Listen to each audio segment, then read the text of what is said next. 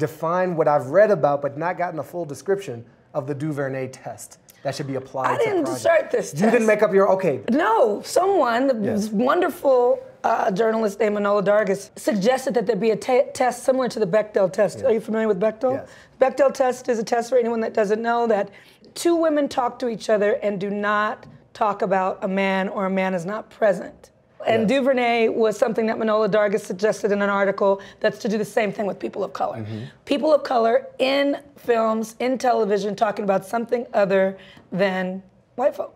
You know, we just have to press ourselves, whether it's race, class, gender, Mm-hmm. to go beyond, you know, the, the expectations of, of the standard expectations of the trope.